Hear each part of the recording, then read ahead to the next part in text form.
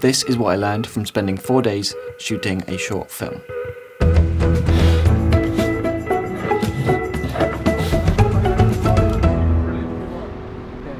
Scene one, slate one, take one. When we arrived on location, I already had a pretty good idea of the shots we needed. So the first thing we did on set was to walk through the scene with Wayne and JP so they knew the plan for the day. But of course, anytime you collaborate, the questions that people ask and the ideas that they bring usually have a huge impact on the final product. Whether it was suggesting some extra shots that we should get, or Wayne's thoughts on safety for stunts, or JP letting me know when I was breaking the 180. Once we had run through all of the shots, JP would set up the camera for the first one, often having someone stand in for the actors so we could frame up. At this point, we'd often walk through the blocking with the actors, who often have questions and ideas about how they should move. For example, in this scene, my idea was that Mark would be held by his arms, but someone suggested that he could get spun around and pushed against the wall, which actually looked a lot more natural. Not to mention that I think the spin around is a clearer way to visually show the power dynamics between them. For the biggest stunt, which involved falling off a bike onto a crash mat, I demonstrated it first to show the actors and everyone that I did believe it was a safe thing to ask someone to do. And as with all of the more complex shots, we ran it through at half speed first to make sure everyone was comfortable before rolling any cameras. As soon as we had a rough idea of how the scene would play out with the actors, JP would start setting up the lights if we needed them. We'd brought some water in a camping tank so that we could wet the road to make nice reflections of the light. But that was more about the aesthetics of a night scene. And cinematography isn't just about tone, it's also about drawing attention to important things. We had this shot where Connor brings out a knife, and I was a bit concerned that with it being a dark scene and there being a lot of movement in the background, that the audience would miss this key part of the plot.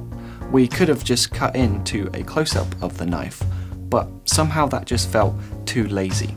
Instead, JP found the exact position of where the knife would reflect light and placed an LED panel dimmed all the way down to the lowest setting. Here's the final shot, and I think it's pretty hard to miss the knife. So once we were finished lighting, the sound guys would usually be ready and waiting. So we were ready to go for the first take. And rolling. Okay. Settle, settle, settle. Mark it. Scene five, slate two, take one.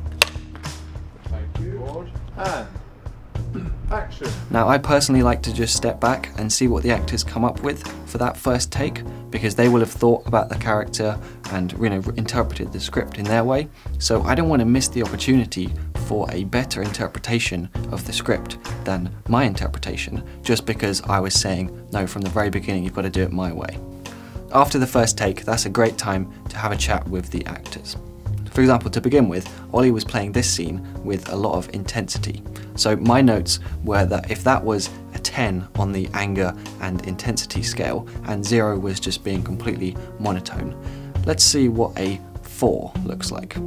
Now, I don't know if that's the best way to talk to an actor, but in that situation, I think it worked out pretty well. Now, I used a more conventional approach for the fifth scene, when Lewis was playing the dealer fairly aggressively and I wanted to send him more towards caution. Rather than just asking Lewis to be less aggressive, instead I gave him some backstory. This character had seen firsthand what guns are capable of, and also what murder does to the person who was using the gun. That's what I felt was loaded behind this line of don't use it, don't even bother loading it. So with that in mind, he could then extend that and interpret it into his overall performance.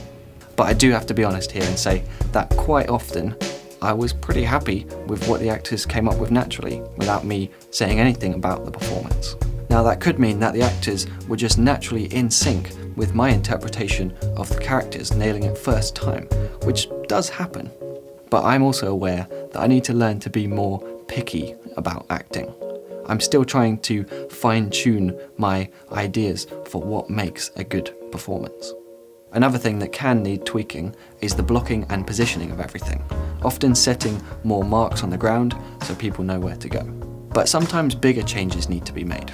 In the early takes of this scene, we had this kind of awkward moment of moving past the customers. Later we changed it so they would exit frame, that opposite motion feeling more natural as well as wiping the frame much faster. Another time it was simply asking the guys to spin slightly towards the camera so we could pick up their faces better. And the same ideas apply to timings. For complex shots, you often need cues. Start walking when you hear this line of dialogue, or even a countdown, as we did after having some trouble with gunshot timings. Now, aside from making changes and giving feedback, sometimes you just need to go for more takes, particularly if there's complicated movement.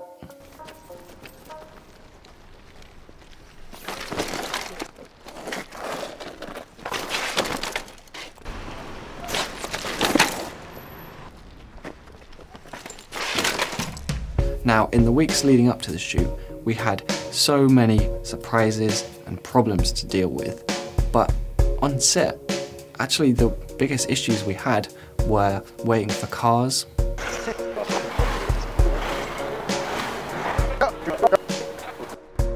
Waiting for quiet.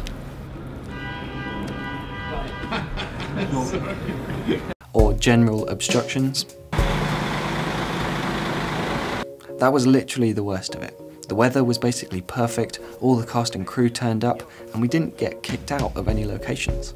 It's pretty rare for a shoot to go so smoothly. But even so, this project overall involved a huge, huge amount of doubting myself, getting stressed out, and genuinely just being unsatisfied with my ideas. I wouldn't call the overall experience fun. However, on that set, and there's no way I can say this without sounding super sentimental, so I'm just going to go with it. On that set, I felt like I was in my element. I felt like this is what I'm supposed to be doing, and in a deeper way than pretty much anything I've felt before. In amongst all of the pressure and all of the panic, there were a few fleeting moments of what I can only describe as purpose. And I think that goes deeper than whether I happen to be enjoying myself at the time or even if I'm satisfied with the end result. My name's Simon Cade, this has been DSLR Guide, and I'll see you next week.